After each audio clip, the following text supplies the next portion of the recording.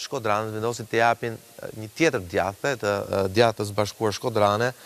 e cila i pat fituar atëherë zgjedhjet dhe nuk i fitoi Partia Demokratike, pra ju kujtoj vitin nëntëdhjetë e gjashtë, viti i zgjedhjeve të majit, ku Partia Demokratike fitoi jo në mënyrë të ndershme, natyrisht në zgjedhje që u dënuan edhe nga vëzhguesit ndërkombëtarë, por në zgjedhjet e qeta relativisht të tetorit të vitit nëntëdhjetë e gjashtë, Partia Demokratike fitoi, fitoi me një rezultat të ndjeshëm ndaj socialistëve. jo me shifrat e majit, por në Shkodër e humbi garën përballë Boriçit të Djathtës së Bashkuar Shkodrane. Sigurisht situata tani në Shkodër është ndryshe dhe atje gjendet për ne Bjol Xhafi. Mirëmëngjes Bjol. Mirëmëngjes Sokol, siç e thatë edhe ju Bardh Spahia kërkon një tjetër mandat për Bashkinë e Shkodrës, të cilën e ka qeverisur për një vit pasi doli nga zgjedhjet e pjesshme të cilat u mbajtën në vitin dy mijë e njëzet e dy. Për sa i përket Shkodrës, qarku në total përbëhet nga pesë bashki, Bashkia Shkodër Qytet, Fushë-Arrëz, Malësi e Madhe, Pukë dhe Vau i Dejës, janë në total 275864 qytetarë me të drejtë vote për të cilët do të votojnë.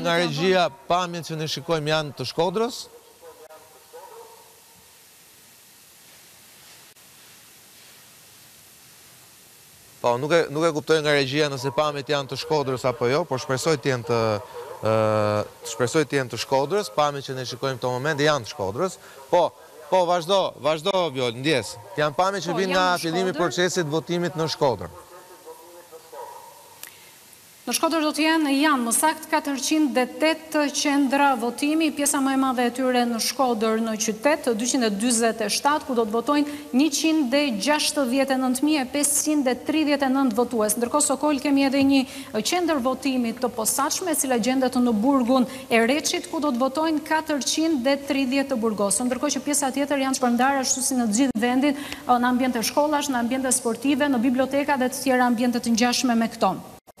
Bashkia më e madhe në veri të vendit, në nivel qarku siç e thamë, përbëhet nga pesë bashki, dy kandidatët për Bashkinë e Shkodrës të cilët kërkojnë një mandat për drejtimin dhe menaxhimin e bashkisë në katër vitet në vijim. Sikundër e thashë dhe më lart, është Bardh Spahia i cili ka dalë nga zgjedhjet e pjesshme të cilat u mbajtën një vit më parë dhe që kërkon tashmë një mandat të plotë për të drejtuar Shkodrën. Vjen nga koalicioni Bashkë Fitojmë, ndërkohë që në dy mijë e njëzet e dyshin ka fituar nën siglën e koalicionit Shtëpia e Lirisë. Përballë ka zotin Benet Beci. kandidatin e Partisë Socialiste, një nga menaxherët më të njohur dhe më jetëgjatë në drejtimin e disa prej institucioneve kryesore në vend. Të dy këta kandidatë në pikën e tyre më të fortë ose pikën e tyre më të fortë të programit që kanë paraqitur për drejtimin e Shkodrës kanë pasur kanë pasur turizmin. Për sa i përket pjesës së Benet Becit, një gjë që vetë ai ka dashur ta nënvizojë në të gjitha daljet e tij dhe në prezantimin e programit ka qenë që gjatë qeverisjes së Shkodrës përveç një bashkëpunimi shumë të mirë që patjetër do të ketë me qeverinë, ka nënvizuar edhe bashkëpunimin me të tretë, me donatorët, Një fushë, të cilën zoti Beci e njeh shumë mirë për shkak edhe të karrierës së tij. Nga krahu tjetër Bardh Spahia, pra që ka një vit që e drejton Bashkinë e Shkodrës, një mjek kirurg në profesion, por që në vitet e fundit i është kushtuar karrierës politike si deputet i Partisë Demokratike nga viti dy mijë e shtatëmbëdhjetë, po ashtu ka mbajtur edhe postin e zëvendësministrit të Shëndetësisë. Po, mirë, për për për momentin qëndro në linjë Vjollc, do të flas prapë me ty, por le të ndjekim një material për këtë garë, e cila është garë shumë interesante e Shkodrës, bastioni që të djathtët e fitojnë prej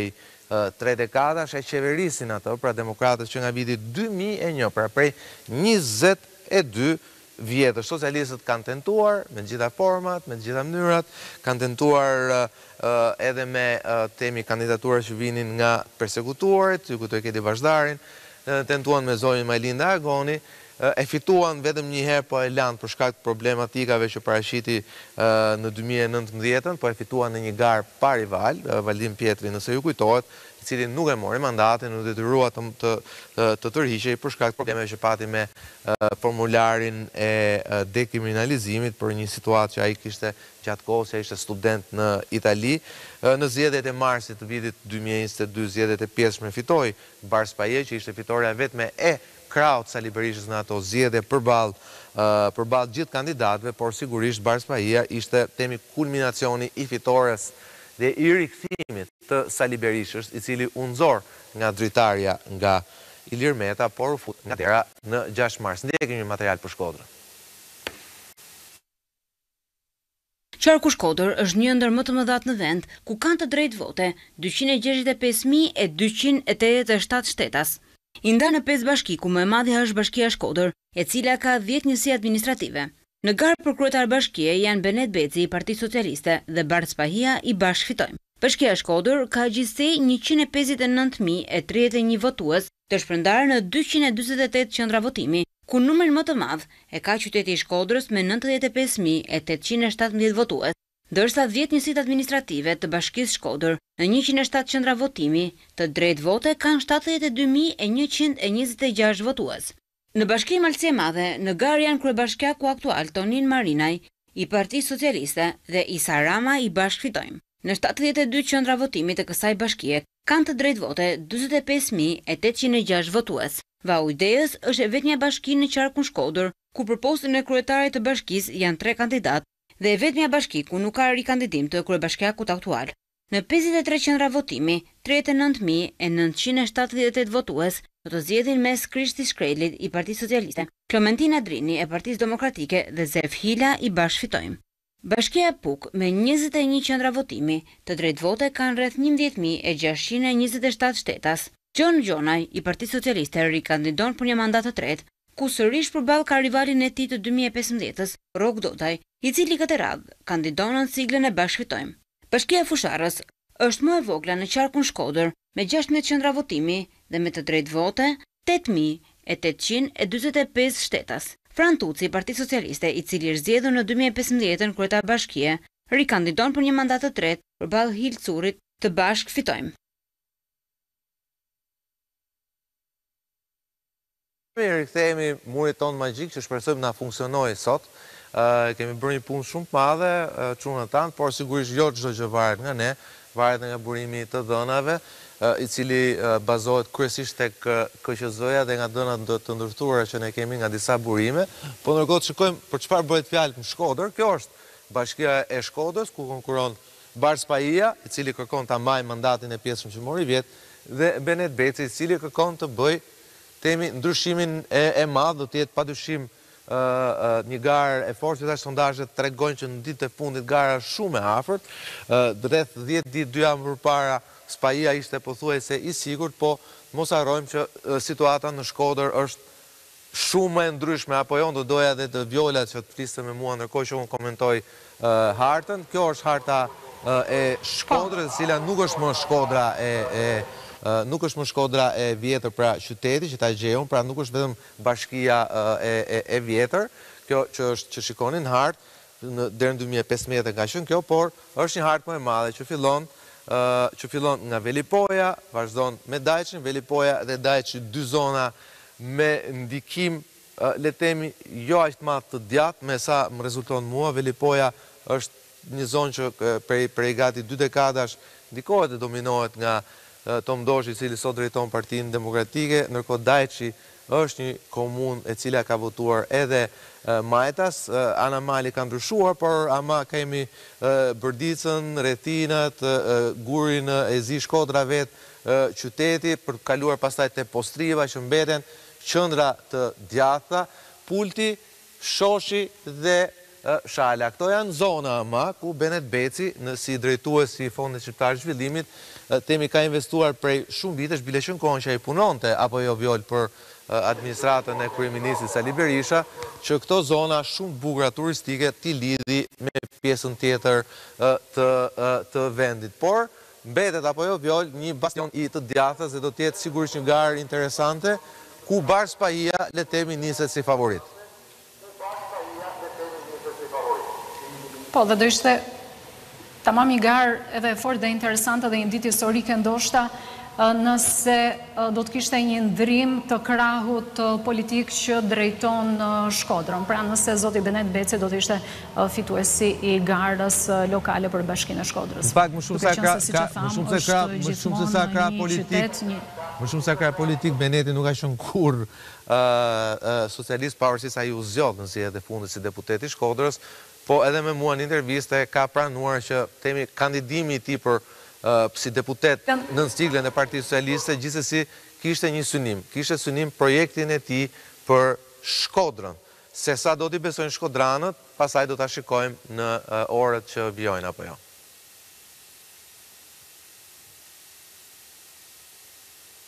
Tepër për siglën në të cilën garojnë pasi e dimë që zoti Benet Beci ka ardhur nga e djatha në fakt, nga Partia Demokratike, por gjithsesi në këto zgjedhje është kandidat i Partisë Socialiste dhe në këtë sens e kisha që ndoshta nëse do të ishte ai fituesi i kësaj gare do të ishte dhe një datë dhe një ditë historike për Shkodrën pasi do të kishim një ndrrim të pushtetit i cili ka qenë gjithmonë nga krahu i djathtë në bashkinë e këtij qyteti. Fakt, sondazhet kanë treguar kanë treguar dy realitete të ndryshme për Shkodrën edhe në të shkuarën. Në sondazhe, për shembull, Partia Socialdemokrate ka dalë zero deri në dy për qind, po ndërkohë në ditën e zgjedhjeve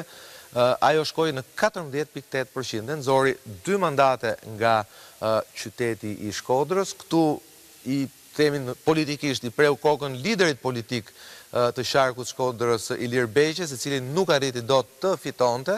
dhe Partia Socialdemokrate për pak këtu kapi dhe mandatin e saj të tretë, vetëm në Qarkun e Shkodrës flas. Ndërkohë, shumë interesante është gara në qytetin e Shkodrës vetë, ku Kemi një element shumë të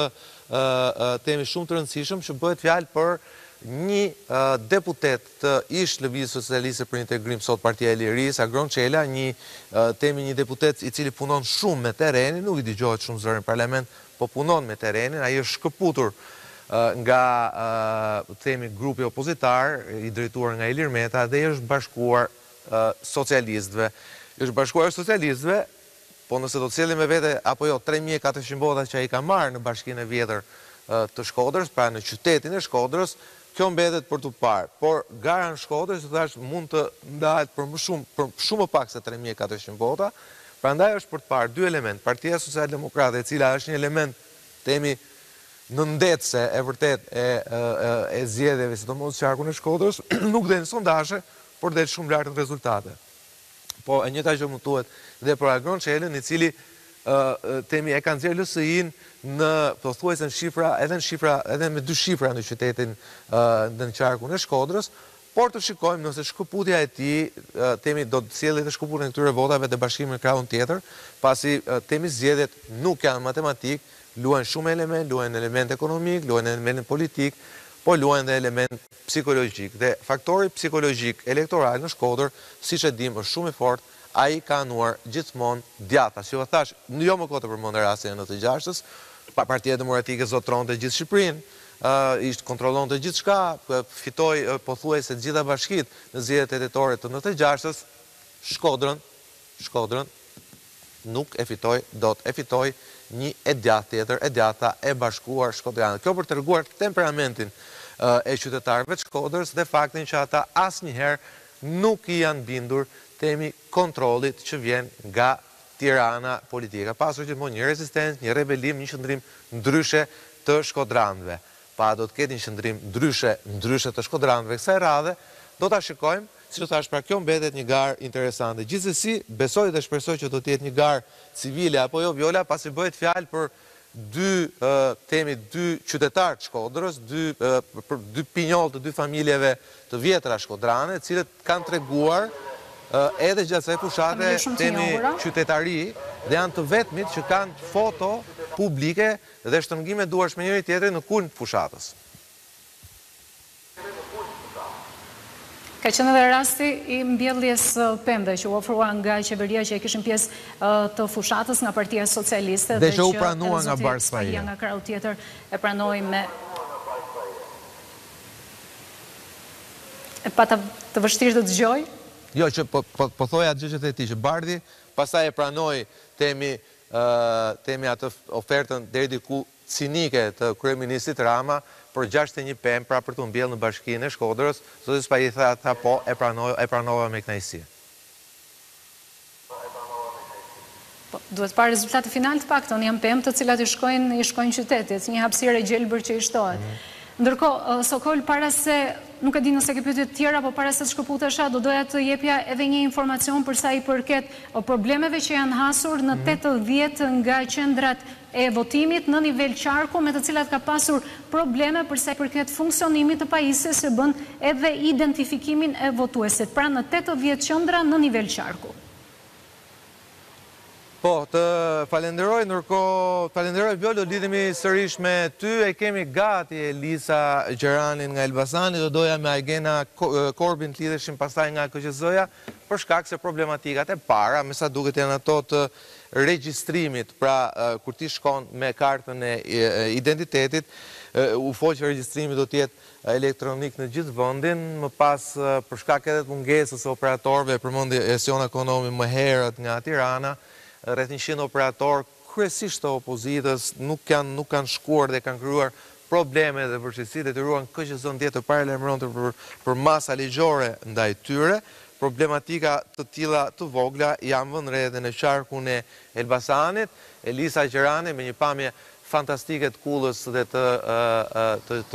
të kështjellës së Elbasanit me me me qytetin e vjetër brenda është tani lidhet drejtpërdrejt me ne këtu në studion elektorale të ABC News. Mirëmëngjes Elisa. Mirëmëngjes Sokol.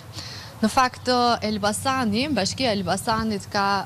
një risi, sikurse edhe KQZ e ka artikuluar gjatë gjithë këtyre kohëve është njëjtë në votim elektronik me bashkinë e Kamzës dhe të Vorës që e ka të sprovuar votimin elektronik edhe më parë, por asnjëherë në një bashki kaq të madhe sikurse është bashkia e Elbasanit, sepse flasim këtu për dyqind e njëzet e katër qendra votimi të shpërndara në zona urbane, por edhe edhe në njësi administrative, në fshatra, gjithashtu në njëqind e gjashtëmbëdhjetë fshatra për njëqind e shtatëdhjetë e një mijë votues, kaq pritet që në total të jetë lista e votuesve ditën e sotme, ndërkohë që sigurisht paralajmërimet e para, indiciet e para për një vonesë në rezultat kanë qenë edhe gjatë ditëve të shkuara, ndërkohë që sipas komunikimeve që kemi pasur me drejtuesit e katër KZAZ-ve të bashkisë së Elbasanit, operatorët e deleguar nga KQZ për të ndihmuar të gjithë ata qytetarë që mund të kenë probleme në aksesimin e një pajisje elektronike, votim elektronik pavarësisht edhe provave të herëpashershme rreth një javë më parë qytetarët e Elbasanit në pallatin e sportit Tomor Sinani kanë pasur mundësi t'i testojnë këto pajisje, por gjithsesi për çdo lloj eventualiteti ata do të jenë aty ndërkohë që pritet që rezultati pra sikurse Po e artikuloja mund të vonohet pak për shkak të aksesimit të internetit pasi jo në të gjitha zonat e Elbasanit mund të aksesohet me internet pavarësisht të le të themi aparaturave mbështetëse që KQZ ka njoftuar se ka dërguar, bëhet fjalë për fshatra që mund të shkojnë edhe dy orë ose tre orë larg me makinë ku edhe le të themi pikëpamja gjeografike jo gjithmonë ndihmon. Por presim një rezultat për sa i përket se çfarë do të vendosin elbasanasit sot për katër vitet e tyre të ardhshme se kush do të drejtojë Bashkinë e Elbasanit mes atij që kërkon një mandat të dytë nga radhët e Partisë Socialiste, Gledian Llatjes dhe Luçiano Boçit i cili kandidon nën siglën e koalicionit të Bashkë Fitojmë dhe që la mandatin e deputetit për të garuar në qytetin e Elbasanit. Gjithsesi, ka sigurisht edhe gjashtë bashki të tjera të rëndësishme, por që Elbasani është, besoj, sikurse edhe analistët e kanë thënë shpesh, një nga bashkitë e rëndësishme, një nga tre bashkitë e rëndësishme që tregon edhe trendin në rang kombëtar. Nëse do të duhet të ndajmë diçka për bashkitë e tjera? Po, ja një sekondë, po të qëndrojmë te ajo që the ti, pse është e rëndësishme, se kjo është, ajo që the ti është, Ka ka një të vërtetë shumë të madhe brënda që sepse shifrat janë ato që flasin, shifrat janë ato që tregojnë të vërtetën. Cila është e vërteta? E vërteta është që duke filluar nga Durrësi, duke kaluar tek Tirana, duke vazhduar tek Elbasani dhe duke mbaruar tek Korça, ky aks Ky aks që fillon, themi, nga nga nga ndjes, nga Shqipëria e Mesme dhe vazhdon deri në Juglindje të vendit, është aksi i cili ka treguar trendin politik ku shkon Shqipëria. Ku dhe kjo ka një ka një rast konkret kur kur kjo ka ndodhur në vitin dy mijë e tre, që është dhe rasti që i parapriu më pas rrotacionit të vitit dy mijë e pesë dhe në ato zgjedhje pavarësisht se pavarësisht se në Tiranë pat fituar Edi Rama në vitin dy mijë e tre gara ishte tmerrësisht e fortë përballë Spartak Ngjellës le të themi Tirana Edi Rama e ndoqi për dy javë rresht nga pas fushatën e Spartak Ngjellës në fund ai arriti të fitojë por ju kujtoj që ka pasur edhe procese gjyqësore në vitin dy mijë e tre në Tiranë por çfarë ndodhi ndodhi që në Durrës në Elbasan Dhe në Korçë fituan kandidatët e Partisë Demokratike. Dhe pas këtyre zgjedhjeve të tetorit të vitit dy mijë e tre, në zgjedhjet e vitit dy mijë e pesë çfarë ndodhi? Ndodhi rrotacioni politik. Partia Demokratike u rikthye pas tetë vjetësh në në pushtet dhe u rikthye sigurisht pas tetë vjet Pas vitit një mijë e nëntëqind e nëntëdhjetë e shtatë, ku le të themi rebelimi që ndodhi atëherë kryesisht në zonat e jugut të vendit, por dhe më pas kaosi shtetëror edhe në veri të vendit, detyruan një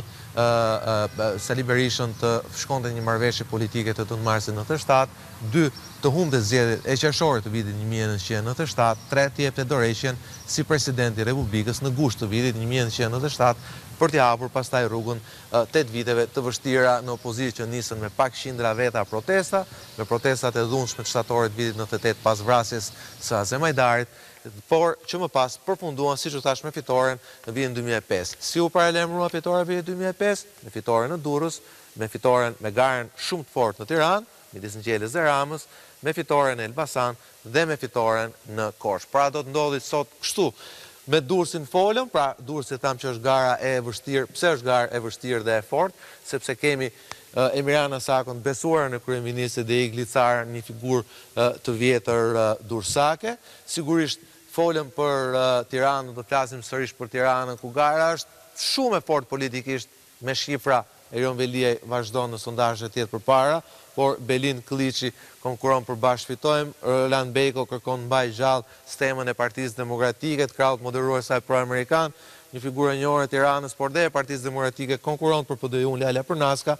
Pastaj kemi frontin e majtë Marko Dajtin që u bë deputet me firmat e deputetëve të Berishës dhe Arlind Qorri që është në një garë që do ta shikojmë. në në listë është në fund, shikojmë nëse shifrat e tij do të shkojnë mbi zero deri në dy për qind, ku e kanë nxjerrë sondazhet më optimiste. Por për të dalë tek Elbasani nga ku po flet Elisa, Elbasani është qark i rëndësishëm ku konkuron Gledan Gledian Llatja, i cili e ka fituar këtë mandat në vitin dy mijë e nëntëmbëdhjetë. Dhe Luçano Boçi. Luçano Boçi një nga figurat qendrore apo jo Elisa të Partisë Demokratike, deputeti më i votuar në zgjedhjet e vitit dy mijë e njëzet e një, dhe një nga deputetët më të votuar në qark dhe në gjithë Shqipërinë, iu bashkua Sali Berishës me foltore, me lëvizjen e tij të foltores dhe në fund fare përfundoi kryetar i grupit parlamentar të deputetëve të Sali Berishës dhe nënkryetar i Partisë Demokratike deri në mars kur gjykata i riktheu logon dhe vulën temi Enkelejd Alibeajt dhe krahut të moderuar pro perëndimor të kësaj partie Luçano Boçi la mandatin dhe tenton një mandat si kryetar i bashkisë së Elbasanit ku ai ka qenë ku ai është pra qytetar i qytetit ka qenë pedagog në universitet dhe sigurisht sot tenton të sfidojë Gledian Llatjan, i cili nuk është figurë politike qëndrore si Luçano Boçi, por sigurisht ka një reputacion të tij në qytetin e Elbasanit, që siç e shikoni dhe ai është një qytet, një bashki e shtrirë tashmë në në një zonë, në një zonë shumë të madhe. Unë po e po po eci jam duke kërkuar të gjej ku është Bashkia, ku ka qenë bashkia e vjetër për t'ju treguar në fakt ndjesë për këtë, për t'ju treguar se sa e madhe është për ata që shëtisin Shqipërinë, shikojnë pra në këtu përfshihet Papri, këtu përfshihet Gracen, që janë gjithë fshatra që shkojnë nga nga Elbasani në rrugën drejt drejt Rrogozhinës, Bradasheshi, Shirgjani, Gjergjani, Tregani, Gjinari, që është një zonë shumë e bukur, Shushica, Pra janë të gjithë Labinot Fusha, Labinot Mal, pra janë të gjitha këto zona të cilat janë të përfshira në bashkinë në bashkinë e Elbasanit, aty ku themi pritet që të jetë një garë interesante politike, pavarësisht se sondazhet themi kanë treguar sondazhet, e po sondazhet mbeten sondazhe, që kanë treguar një përparësi një përparësi të kandidatit socialist Gledian Llatja. Ndërkohë Elisa që ta mbyll lidhjen me ty, ndërkohë kanë filluar apo jo votimet edhe në qytetin e Elbasanit dhe kemi vetëm këto problematikat e para të regjistrimeve me kartat e identitetit apo jo? E vërtetë, qytetarët e parë kanë nuk kanë hezituar të shkojnë që në minutat e para të hapjes së qendrave të votimit. Rreth orës shtatë e pesëmbëdhjetë minuta ato janë drejtuar në qendrat e votimit, sigurisht në zonat urbane dhe më pas në orët dhe minutat në vijim do të bëjmë edhe një vëzhgim përsa i përket qendrave më larg zonës urbane për të kuptuar nëse Elisa, atëherë një sekondë, Elisa të kërkoj ndjesë. Shkojmë me një pamje breaking nga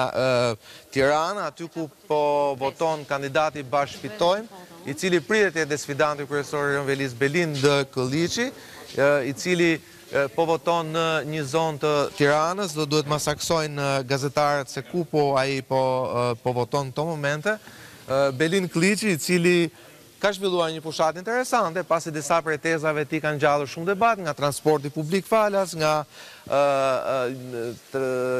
investimi tek zonat rurale të Tiranës, të cilave ai u ka ofruar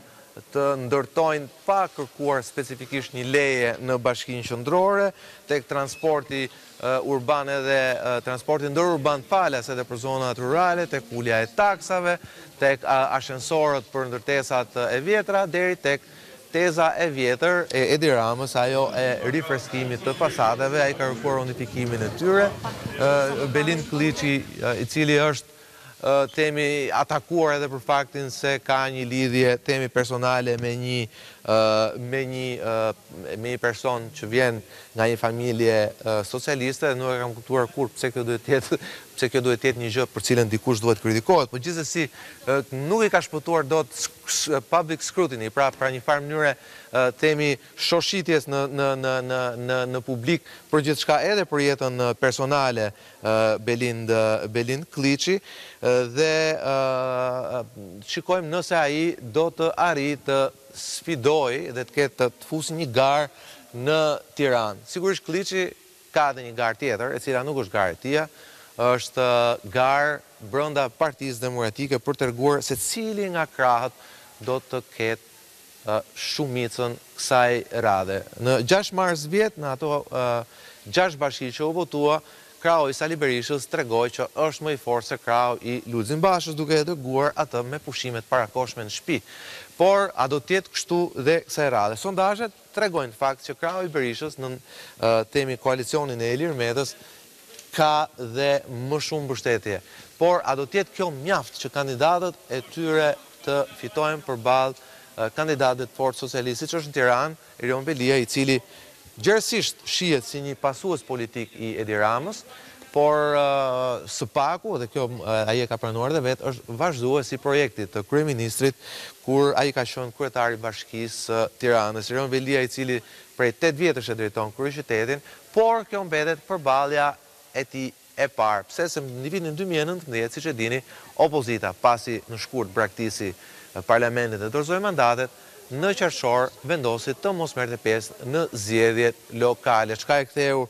themi në një formalitet garën edhe në Tiranë, Erion Veliaj u pat konfirmuar, gjithsesi u pat konfirmuar me gati njëqind e pesëdhjetë e dy mijë vota dhe nëse s'gaboj mori diçka më pak se tetë mijë vota krahasuar me zgjedhjet e vitit dy mijë e pesëmbëdhjetë ku gara ishte normale, pra kishte një rivalitet midis tij dhe doktorit të njohur Halim Kosova. Me siguri kësaj radhe gara do të jetë reale, do të ketë Votim të mirëfilltë, gara do të jetë e fortë, por siç thashë, projekti i Këlliçit për Tiranën, themi limitohet edhe nga gara e brendshme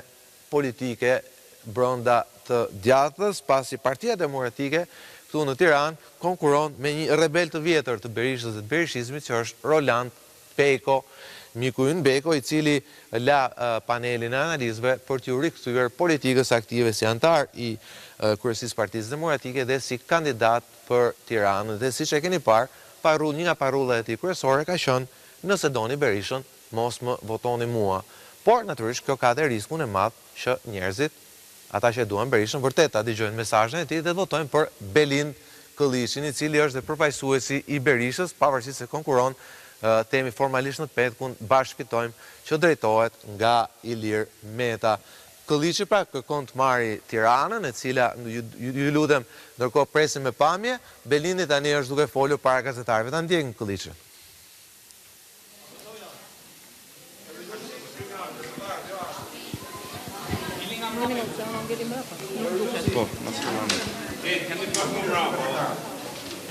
Atëherë mirëmëngjes, faleminderit të gjithëve për pasqyrimin edhe për interesin e treguar. Sapo kreva detyrën time si qytetar, votova, ftoj të gjithë qytetarët e Tiranës që të shkojnë sot në qendrat e tyre të votimit për të kryer detyrën e tyre si qytetarë për të votuar. Ftoj të gjithë të rinjtë. Të gjithë ata mijëra e mijëra qytetarë që në këto pesë muaj kam takuar duke shtrënguar duart, duke i parë në sy dhe duke folur për ndryshimin. Sot është dita e madhe. Sot është katërmbëdhjetë maj që kemi pritur aq shumë që të gjithë. Është dita ku keni në dorë fatet e këtij qyteti dhe ndryshimin e keni vetë në duar. Ndaj kam një apel mbi të gjitha për rininë, për ata që përherë e kam thënë për naçot e Tiranës, për të gjithë ata që e kuptojnë atë që po i them, për të gjithë vajzat, djemtë, gjithë të rinjtë që Kanë një moment në të cilin mendojnë që duhet të ikin nga ky qytet, apo e kanë më të lehtë për të menduar që mund të marrin një kamion për të ikur nga Tirana, apo mund të marrin gomonet për të ikur, i them jo. Hajdeni votoni, hajdeni bashkë të ndryshojmë të ardhmen e qytetit tonë. Për të gjitha ato punë të pabëra, për të gjitha ato abuzime që kemi parë në këto tetë vite. Për të gjithë shpresat që janë shuar në këto tetë vite, për gjithë ata qytetarë që janë larguar, për gjithë ato të afërmit juaj që janë larguar, dilni dhe votoni, mos harroni. Askush nuk ju kontrollon dot votën. As Belind Këlliçi dhe as Erion Veliaj. Ftoj të gjithë qytetarët të vijnë ke kutitë e votimit, të shkojnë në dhomat e fshehta, të votojnë me ndërgjegje të pastër. të votojnë për të ardhmen e fëmijëve të tyre, për të ardhmen e familjeve të tyre dhe të votojnë për katër vitet e ardhshme. Unë e them dhe një herë, e kreva detyrën time, tashmë do të shkoj në selinë qendrore të Partisë Demokratike, jam duke marrë informacione nga të gjithë qendrat e votimit në Tiranë, deri tani përpos disa gjërave të vogla teknike, procesi është duke shkuar normalisht. I bëj thirrje edhe një herë gjithë qytetarëve, dilni, dilni, votoni masivisht. Sot është një ditë feste për gjithë ata që më kanë thënë në këto muaj që kur po vjen dita e ndryshimit, sot është dita e ndryshimit, katërmbëdhjetë maji. Dilni dhe votoni. Faleminderit. Faleminderit gjithëve. Faleminderit. Mirë, dëgjuam Belind Këlliçin me një thirrje të cilët sigurisht ai ka të drejtë, sot është dita kur qytetarët duhet të flasin nëse duan që zëri i tyre të dëgjohet, kështu që dhe ne themi që I bashkohemi këtij mesazhi, mesazhit sigurisht të parë, atë që të marrin pjesë në në votime dhe të tregojnë, të tregojnë edhe se ku do të jetë Partia Demokratike, të tregojnë se ku do të jetë Sali Berisha, pasi siç e tha Belindi dhe tha një të vërtetë, po i drejtohem selisë Partisë Demokratike e cila sot okupohet nga Sali Berisha megjithëse gjykata ia ka dhënë ja ka kthyer atë krahut Alibeaj, por në fund fare e vendosni ju, ju do të dilni dhe të vendosni ku do të qëndrojë Partia Demokratike, ku do të qëndrojë Sali Berisha, ku do të qëndrojë Belind Këlliçi dhe ku do të qëndrojë Erion Veliaj. Por, që ta mbyll me Elbasanin, Elisa të falenderoj shumë për këtë lidhje, besoj do të lidhemi sërish bashkë, me ty do të jetë Frok Çupi pas pak, pasi komentatorët tanë do të jenë të shpërndarë, Froku do të jetë Me Elisën, Skënder Minxhozi pas pak do të jetë në Durrës, Mentor Nazarko do të jetë në Korçë dhe Edvin Kulluri në Vlorë për t'u bashkuar më pas në mbrëmje këtu me mua për të komentuar rezultatet të cilat do t'i shikojmë në kohë reale edhe në Murin Magjik. Ndërkohë, po pret Genta Dobra nga Dibra ku kanë filluar votimet, nuk e di nëse regjia na ndihmon me pamjet e para që vijnë nga Dibra. ku qarku i Dibrës ka disa bashki, kryesore ajo është pikërisht ajo e Dibrës, e Peshkopisë, ndërkohë kemi bashkinë e Matit, kemi kemi dhe bashkinë e Klosit, ku ku konkuron një grua, pra Valbona Kola. Para se të lidhem me Gentën, le ta ndjekim materialin për Dibrën.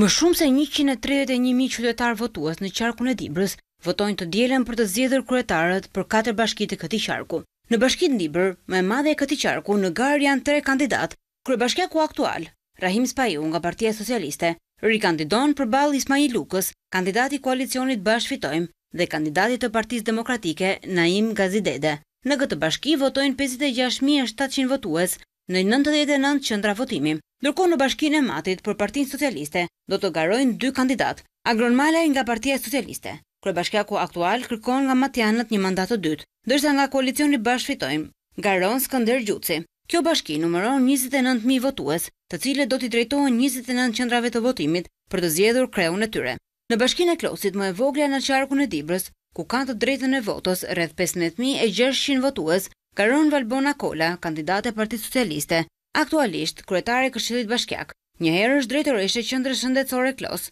ish-kandidate edhe në zgjedhjet lokale të vitit dy mijë e pesëmbëdhjetë. Përballja do të jetë me kandidatin e koalicionit Bashkë Fitojmë, Bedri Hoxha. Edhe në këtë bashki, PD nuk do të ketë asnjë kandidat. Në total, janë dyzet e nëntë qendra votimi. Në bashkinë Bulqizë. Pas arrestimit të ish-kryebashkiakut Lefter Alla, Partia Socialiste ka vendosur të garojë me një grua. Festime Mjeshtri, aktualisht drejtoreshë e Spitalit të Bulqizës, do të jetë në garë përballë kandidatit të koalicionit Bashkë Fitojmë, Defrim Fiku. Bashkia e Bulqizë ka dyzet e nëntë qendra votimi të cilave do t'u drejtohen mbi njëzet e nëntë mijë e gjashtëqind qytetarë. Mirë, përpara se të lidhemi me Genda Dobrën, e cila është në lidhje drejtpërdrejtë nga qyteti i Peshkopisë, të flasim pak për Dibrën, pasi le të themi Dibra ka edhe garë interesante për një arsye të thjeshtë. Të këtij emri që shikoni këtu, Naim, Gazidede, i cili konkurron në siglën zyrtare të Partisë Demokratike, është një nga familjet më të njohura dhe më me influencë në që në themi në në qarkun e Dibrës, por padyshim edhe në qytetin e Peshkopisë. Familja Gazidede, ju kujtoj ish drejtuesin e shërbimeve sekrete Bashkim Gazidede, pra janë nga e njëjta familje, një qark Një, themi, familje me influencë në Dibër, por dhe mbi Partinë Demokratike. Çfarë ka ndodhur? Ky ish-drejtues i Partisë Demokratike,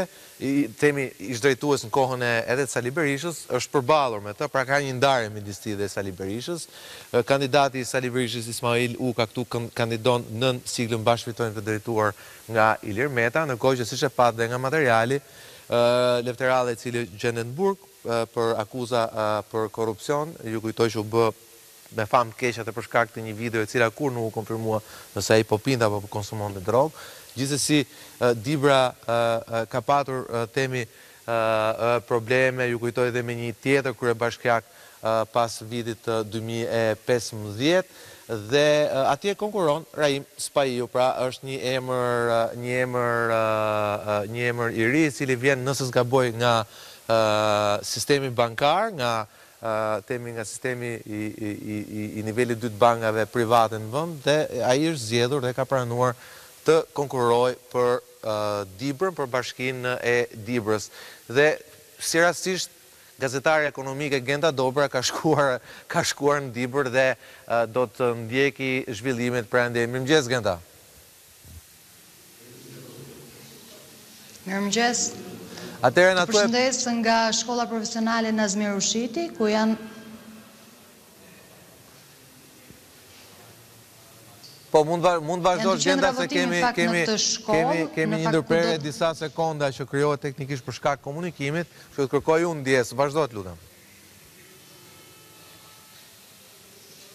Janë dy qendra votimi që ndodhen në shkollën profesionale Nazmi Rushiti, ku në fakt do të votojnë edhe dy nga kandidatët për bashkinë e Dibrës, ai aktual që kërkon një mandat të dytë për Dibrën, Rahim Spahiu dhe kandidati Ismail Uka për i koalicionit Bashkë Fitojmë. Është bërë gati procesi, ka nisur tashmë që prej orës shtatë të mëngjesit kanë ardhur edhe votuesit e parë në këto dy qendra të votimit ku ndodhem aktualisht.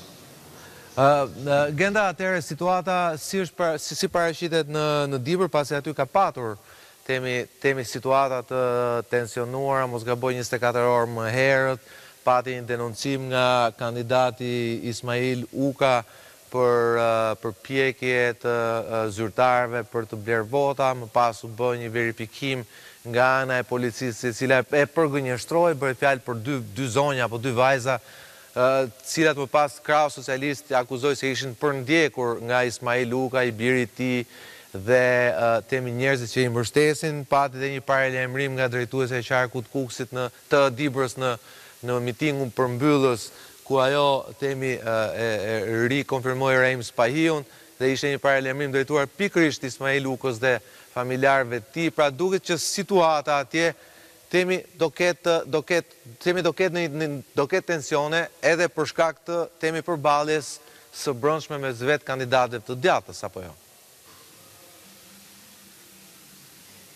Jemi vetëm në orën e parë po themi të procesit zgjedhor. Deri më tani nuk ka pasur problematika, janë problematika të vogla në disa qendra votimit në Bulqizë dhe në Mat, të cilat bëhet me dije nga Komisioni Qendror i Zgjedhjeve që po rregullohen, ndër, ndërkaq sa i përket incidentit të ndodhur tashmë kemi pasur edhe një deklaratë policisë të dalë sepse lajmi që qarkullonte nëpër media dhe Akuza e ngritur nga kandidati i koalicionit Bashkë Fitojmë nuk ishin prova, pra bie poshtë dhe ishin të pavërteta. Por deri më tani kemi të bëjmë me një ecuri të qetë, jemi vetëm në orët e para të votimit që zhvillohet në qarkun e Dibrës, e cila ka katër bashki në fakt, qytetarët Dibranë dhe matjanë votojnë për të zgjedhur sot kryetarët për katër bashki të këtij qarku, ku më e madhja është bashkia Dibër. Po, bashkia Dibër, e cila, do doja t'i rikthesha hartës për të treguar, për të treguar se cilat zona përfshihen tashmë në këtë bashki pas reformës territoriale të vitit dy mijë e pesëmbëdhjetë, është Lura, është Selishta, është Muhuri, është Arrasi, Pra Fushë Çidhën janë Zall Reçi, pra Zall Dardha, pra ka shumë zona, Sllova, Kalaja e Dodës, pra janë zona që më parë kanë qenë komuna, mund të kenë qenë ndonjëra prej tyre dhe bashki si ka qenë Maqellara, por të gjitha këto tashmë janë përfshirë në bashkinë e Dibrës e cila mbetet një bashki e cila ka qenë nën influencën e të djathtës, por le të themi në në dekadën e fundit ka patur dhe oshilacione, pra me sa kujtoj nëse unë nuk gaboj viti dy mijë e nëntë dhe viti dy mijë e njëmbëdhjetë është hera e fundit që demokratët e kanë kontrolluar këtë zonë edhe në nivel lokal, pra si bashki, mos gaboj ka qenë Ilir Krosi, dhe në nivel në nivel kombëtar ku në zgjedhjet e vitit dy mijë e nëntë rezultati doli katër me dy. Pse Dibra është interesante? Pasi Në bazë të sistemit elektoral të ndryshuar me reformën e vitit dy mijë e tetë, pikërisht Dibra ishte ajo që përcaktoi rezultatin final. Rezultati katër me dy në Dibër, mos gaboj Ylli Manjani konkurronte për Partinë Socialiste, në momentin që Manjani e humbi, të themi, mandatin, pra ishte i treti në listën e socialistëve, Rezultati shkoi aty dhe nuk ndryshoi më deri në fund, pra rezultati që nëse ju kujtohet ishte shtatëdhjetë deputetë Partia Demokratike, katër deputetë Partia e Ilir Metës, Lëvizja Socialiste për Integrim dhe gjashtëdhjetë e gjashtë koalicioni i drejtuar nga Edi Rama. Pra ishte një rezultat që nëse Ilir Meta bashkohej me Edi Ramën shkonte shtatëdhjetë me shtatëdhjetë. Ilir Meta në katër korrik pikërisht në ditën e ditëlindjes së Edi Ramës i bëri në thonjëza një dhuratë të hidhur dhe të themi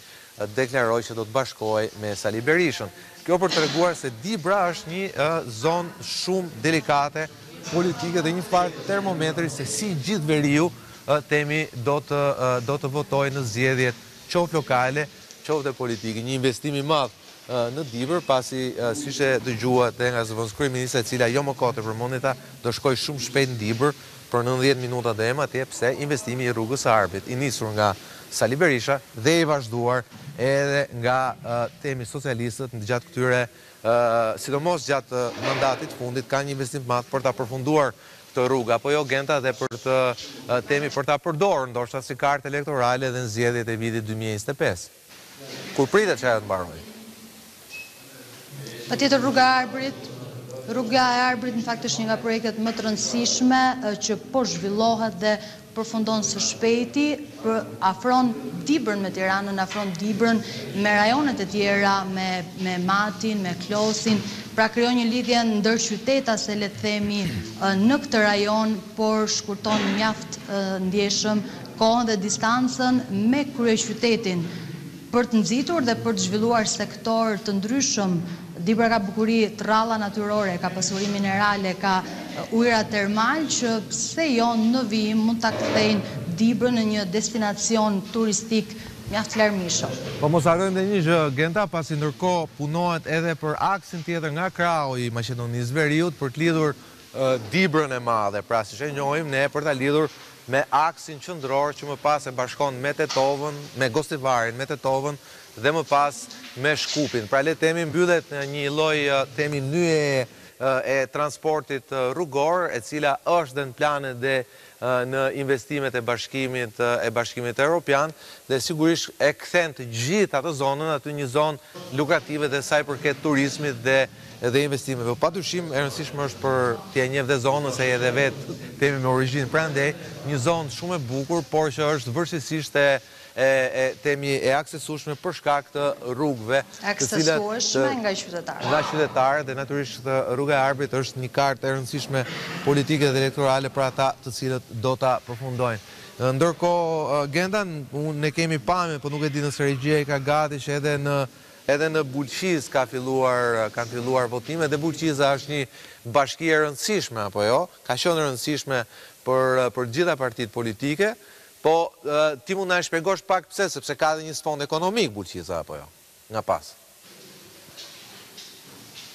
Pra janë miniera. Sigurisht është një zonë e pasur, e kemi thënë tashmë, e pasur me miniera, me pasuri minerale, që duhet kujdesemi në fakt duhet thënë, janë pasuri që sigurisht janë këtu, por që duhet edhe të të mirë menaxhohen. Është e rëndësishme, ka njëzet e nëntë qendra votimi, janë më shumë se njëzet e nëntë mijë zgjedhës që votojnë për zgjedhur kryetarin e Bashkisë së Bulqizës, në fakt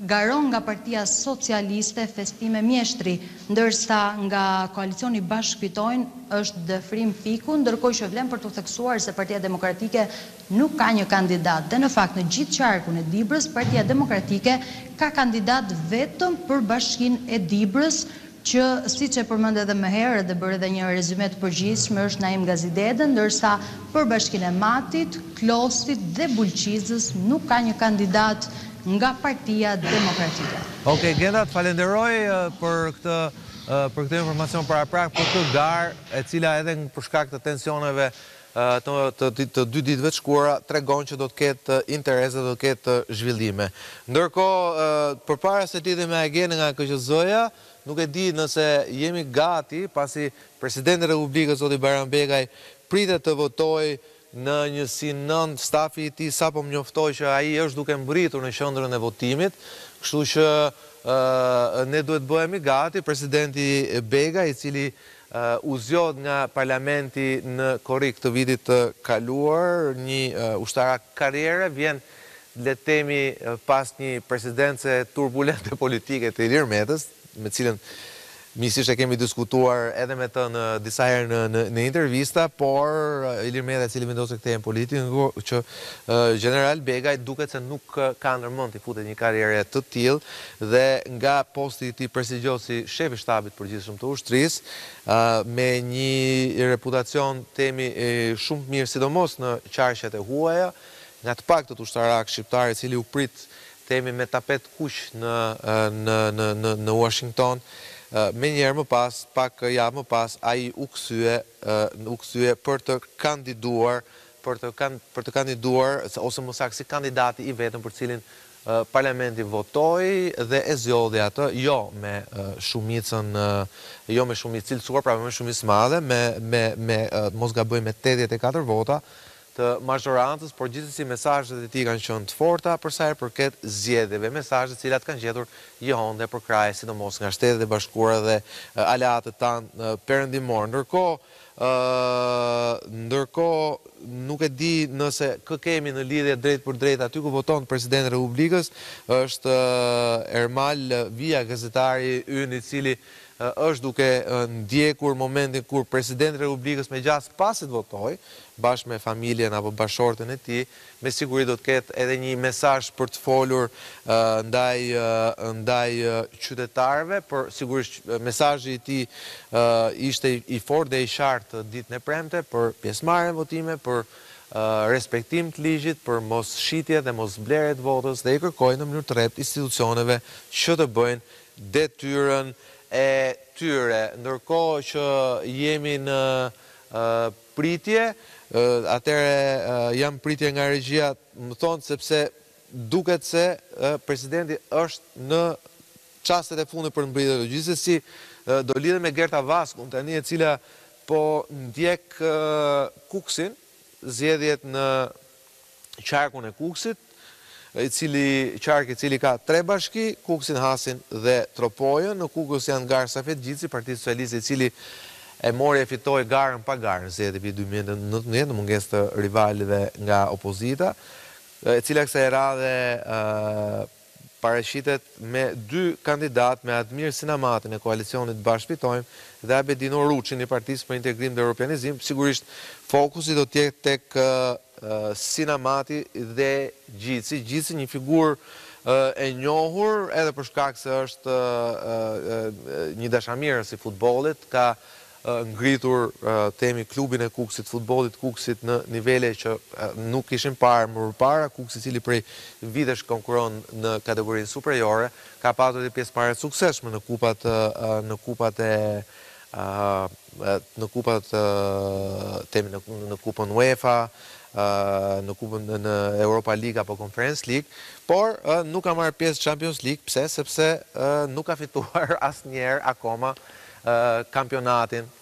dhe Gjicit i duhet të fitojë ka dy sfida, të fitojë kampionatin me Kukësin dhe të fitojë Bashkinë e Kukësit me një garë të mirëfilltë. Kësaj radhe e ka mundësinë për ta bërë këtë përballë Admir Sinamatit të koalicionit Bashkë Fitojmë, pra pritet që të ketë një garë të vërtetë, Partia Demokratike e Linjës Zyrtare nuk ka paraqitur aty kandidatë. Gerta, më dëgjon? Atëherë linja për ty. Po, përshëndetje. Ka nisur pra që në orën 7 procesi i votimit këtu në në bashkinë e Kukësit. Qytetarët janë i drejtohen qendrave të votimit. Unë konkretisht ndodhem në Pallatin e Kulturës Hasan Prishtina, në të cilin ndodhen dy qendra votimi. Procesi vijon normalisht për shk... vetëm në në orët e para të mëngjesit, pra në orën 7 për rreth 20 minuta, ka pasur një problem me pajisjen e identifikimit elektronik për shkak edhe të ikjes së energjisë elektrike të herëpashershme këtu në Bashkinë e Kukësit. Numri i qytetarëve të cilët i drejtohen qendrave të votimit nuk është relativisht i lartë, kjo për shkak ndoshta edhe të reshjeve të shiut që vijojnë të bie në Kukës që prej orëve të para të mëngjesit. Siç e the, janë tre kandidatë që garojnë pra për të marrë drejtimin e Gerta të kërkoj ndjesë, kalojmë menjëherë në pamje në Tiranë ku voton presidenti i Republikës, i cili voton në njësinë, mos gaboj, në njësinë nëntë, së bashku me bashkëshorten e tij, e shikojmë që ai i drejtohet nën i drejtohet qendrës votimit, takon me radhë drejtuesit e kësaj qendre që janë përfaqësues të partive politike, të Partisë Socialiste, të Partisë Demokratike dhe duhet të jetë pastaj ose përfaqësuesit e Partisë së Lirisë ose përfaqësuesit e Partisë për Drejtësi, Integritet dhe Unitet, PDIU-në, pra të Shpëtim Idrizit, siç e dini debati i famshëm ditët e fundit edhe në KQZ. Shikojmë dhe procesin e regjistrimit elektronik, pra biometrik më saktë. Zonja Begaj e para, pastaj Presidenti i Republikës i cili paraqitet dhe ai si çdo qytetar tjetër, është qytetar i parë, por është qytetar si gjithë të tjerët, ai ka një votë siç kemi të gjithë ne dhe edhe ai kryen procesin normal të regjistrimit, Paraqet pasaportën në këtë rast e cila kalon procesin e të identifikimit ashtu siç bëhet për shembull në aeroport dhe më pas edhe procesi i vendosjes së gishtit pra identifikimit biometrik nëse ato përputhen pasaporta me pasaporta me shenjat e gishtave një proces që në fakt nuk bëhet në nuk bëhet në aeroport por Kjo për të treguar, të themi dhe, të themi dhe avancimin për sa i përket procesit të sigurisë së zgjedhjeve në Shqipëri dhe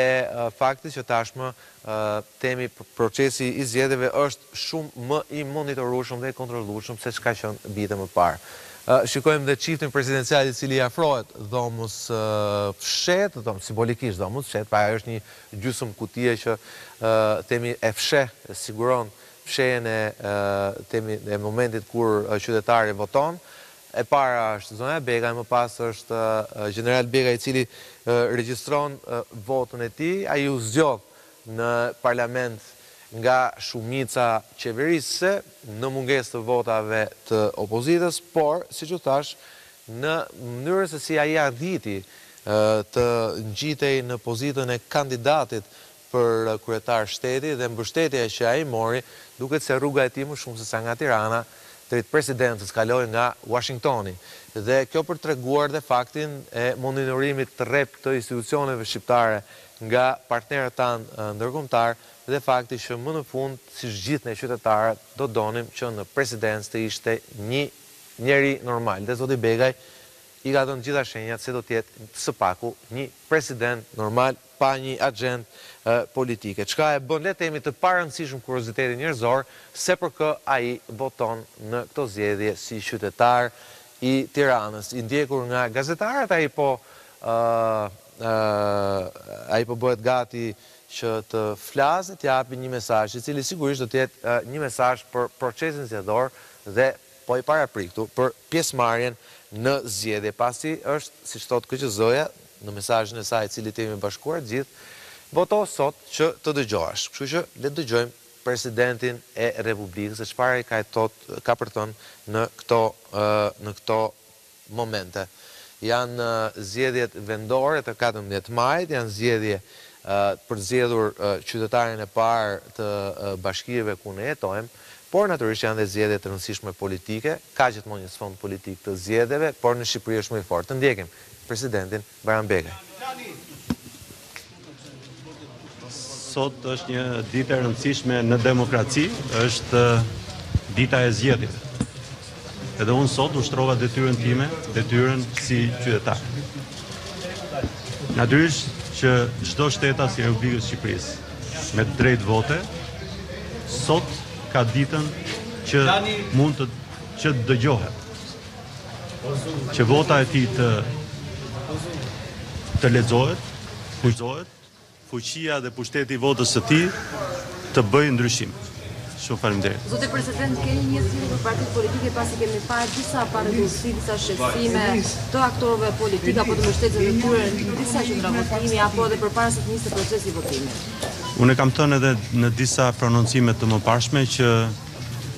Këto votime nuk janë të partive politike, këto janë të qytetarëve dhe duhet t'i shërbejnë qytetarëve. Faleminderit, faleminderit. Pra siç thashë, mesazhi i Begajt është qartazi apolitik, e tha qartë, këto janë zgjedhje për qytetarë, një farë mënyre, unë e thashë, zgjedhjet janë politike, sfondi është politik, por Begaj i qëndron larg shumë larg të themi tentativave për ta përfshirë atë në debate politike. Po të rikthehemi lidhjes me me Gerdën. Po Gerda na thuaj diçka më shumë për qarkun për qarkun e Kukësit, pasi qarku i Kukësit përfshin jo vetëm bashkinë e Kukësit, por kemi dhe Hasin dhe dhe Tropojën ë.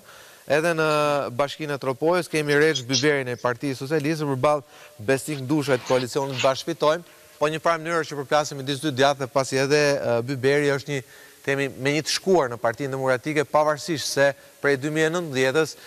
e ka futur Tropojën në hartën e majtë të qeverisjes lokale. Po, atëherë në të gjithë qarkun e Kukësit janë njëqind e tridhjetë e nëntë qendra votimi dhe procesi zgjedhor administrohet nga nëntëqind e shtatëdhjetë e tre komisionerë. Janë tetëdhjetë e katër mijë e gjashtëqind e tetëdhjetë e tre qytetarë në listat e zgjedhësve për që kanë të drejtë vote në të gjithë qarkun e Kukësit, ndërkohë që dyzet e pesë mijë e tetëqind e pesëdhjetë e pesë prej tyre pra janë në listat e zgjedhësve në qarku vetëm në bashkinë e Kukësit dhe fshatrat përreth. Mbetet për t'u parë se si do të jetë pjesëmarrja në këto zgjedhje, duke iu referuar edhe shifrave Në zgjedhjet e kaluara, shifra më e lartë e pjesëmarrjes në zgjedhje për qarkun e Kukësit, pra në bashkinë Kukës, ka qenë ato të zgjedhjet e vitit dy mijë e pesëmbëdhjetë, ku kanë marrë pjesë rreth njëzet e gjashtë mijë votues. Ndërkohë që ditën e sotme, ajo që ne vëmë re është se nuk ka një pjesëmarrje të lartë të qytetarëve, pra atyre që u drejtohen qendrave të votimit dhe për ta theksuar, kandidati i Partisë Socialiste, Safet Gjici do të votojë pak minuta më vonë në shkollën Besëlidhja, ku është qendra e tij e votimit, ndërkohë kandidati i koalicionit Bashkë Fitojmë, Admir Sinamati do të votojë në fshatin e tij në Bicaj dhe kandidati Uruçi do të votojë në fshatin Manës. Tani një pyetje kam për ty, ndërkohë që unë po hap në murin magjik hartën e Kukësit. Atëherë, këtu konkurron Safet Gjici për Partinë Socialiste, Admir Sinamati për Bashkë Fitojmë, por që dihet që është i krahut Berishës. Na shpjego pak kush është ky Abedin Uruçi dhe partia për të cilën ai konkurron, pasi themi është një nga rastet e rralla kur shikojmë konkurrentë nga parti apo koalicione siç është ky Partia për Integrim dhe Europianizim. Pra, për për cilën parti bëhet fjalë apo është ky është thuajse në Pozitat e një kandidati të pavarur apo jo? Është hera e parë që Abedin Uruçi kandidon në për të marrë detyrën e kreut të bashkisë, pra është hera e parë që në Kukës kemi tre kandidatë në zgjedhje. Ai i përket Partisë për Europianizim dhe Integrim të Shqipërisë. Është një parti e re dhe një figurë jo shumë e njohur politike. Është një figurë pra lokale e qytetit të Kukësit që njihet në Kukës dhe nuk ka një profil politik. Pra Abedin Uruçi ndërkohë që është në garë së bashku me Safet Gjicin nga Partia Socialiste i cili kandidon për një mandat të dytë në Bashkinë Kukës ku në zgjedhjet e dy mijë e nëntëmbëdhjetë-s ai nuk pati një kundërshtar përballë dhe kandidati tjetër Admir Sinamati i koalicionit Bashkë Fitojmë dhe Partia Demokratike pra ajo zyrtare nuk ka një kandidat këtu në për të marrë Bashkinë e Kukësit në këto zgjedhje. Po, po, në rregull, ndërkohë janë kjo është harta, po Tashti sa t'ja marrim dhe ne dorën këtij Magic Wall-it, po ideja është që Kukësi nuk është më vetëm qyteti qyteti Bashkia e Vjetër, po konkurrojnë të themi votojnë për Bashkinë e Kukësit edhe zona si Malzia, Arrën, Surroi, Ujmisht, Bushtrica, Kalis, Grykë-Çajë, Topojani, Zapod, Tërthor, Shtiqën, Bicaj, Kolsh, Dhe shikoni, vetëm kjo zona këtu që shikoni është bashkia ë bashkia e vjetër e Kukësit. Ndërkohë gjithë këto të tjerat janë pas dy mijë e pesëmbëdhjetës ë zona ku votohet për qytetarin e parë të Kukësit, siç e tha dhe ë siç e tha dhe Gerta, një prej kandidatëve voton në një fshat i cili është i përfshirë tashmë në bashkinë e Kukësit. Po cilat janë problemet kryesore? Deri tani janë ato të regjistrimit, pra për shkak të pajisjeve, mungesës së internetit, mungesës së operatorëve dhe dhe dhe pjesëmarrja, pjesëmarrja e cila vazhdon të mbetet vazhdon të mbetet e e ulët. Ndërkohë, sipas njoftimeve të para që kam unë Gerta nga burimet e mia në fshatin Kalis, pra unë besoj e nxorëm dhe këtu në e nxorëm dhe këtu në hartë, ja ta gjej dhe një herë ë ta gjej dhe një herë fshatin ku ka duket se ka një problem të parë ku ja në këtë zonë këtu pra të të Kukësit në Kalis është sekretari i Qendrës së Votimit zero pesëqind e tetëdhjetë e katër, i cili më thonë është i Partisë Demokratike, pra i partisë zyrtare, i linjës zyrtare të Partisë Demokratike, i cili e ka marrë vulën në proces votimi dhe është larguar, ka thënë mirupafshim në këtë moment, e ka bllokuar e ka bllokuar sistemin. Ndërkohë, Ka nji problem për sa i përket e tha dhe Gerta e tha dhe Elisa e thanë edhe të dërguarit tanë në zona të tjera duket se mosfunksionimi i pajisjeve të identifikimit mund të jetë problemi kryesor i këtyre zgjedhjeve janë shumë qendra votimi në shumë bashki të cilat nuk nuk funksionojnë dhe duket se ka nji situatë në pro në procesin e marrjes së një vendimi në KQZ. KQZ-ja dy ditë më parë tha nëse do ketë probleme me identifikimin, pra procesin elektronik të identifikimit, atëherë do të kalojmë në proces manual. Siç e siç ju thashë edhe nga zhvillimet më të fundit, ka edhe probleme njerëzore, ë operatorë nuk vijnë, pajisjet nuk funksionojnë, nuk ka korrent, nuk ka internet. KQZ-ja tha nuk ka problem. Do kalojmë, do marrim një vendim dhe do kalojmë në identifikim manual. Por, me sa duket, në KQZ po pengohet një vendimmarrje e tillë. Si e shikoni, pjesëmarrja është e ulët, deri tani është një pikë njëzet e nëntë për qind sipas sipas KQZ-së, ndërkohë që votohet për gjashtëdhjetë e një kryetarë bashkie dhe gjashtëdhjetë e një këshilla bashkiakë. Ndërkohë që situata tjetër, për të cilën shpresoj kur Aigena të na të na informojë sërish në kushte më të mira teknike për audion, situata në KQZ. KQZ-ja me sa duket është vënë sërish nën një presion, pavarësisht se aty kemi vetëm një kryekomisioner, në bazë të reformës që u bë, që u miratua në vitin dy mijë e njëzet e një,